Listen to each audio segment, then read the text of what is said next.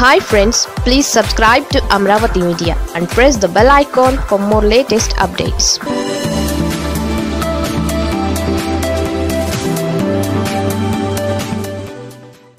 కష్టం వైసీపీది బిల్డప్ బీజేపీది.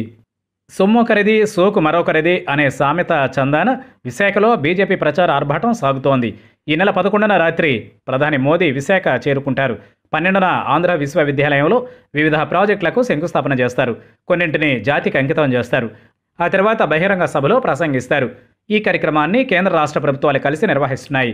అయితే ప్రధానికి స్వాగతం పలికేందుకు బీజేపీ శ్రేణులు భారీగా తరలి రావాలని ఆ party AP chief Som Veerraju పిలుపు ఇవ్వడం గమనార్హం. తమ పార్టీకి ఏపీలో అంత సీన్ లేదని వీర్రాజుకు బాగా తెలుసు.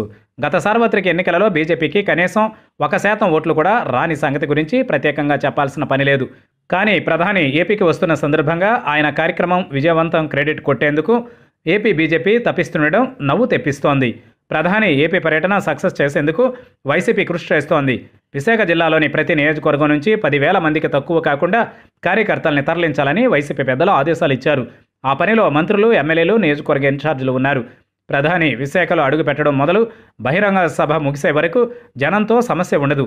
దీనిని తమ ఖాతాలో వేసుకోవాలని సోము వీర్రాజు ఎంపీ జీవీఎల్ నరసింహారావు తప్పించడం చర్చకు దారితీసింది.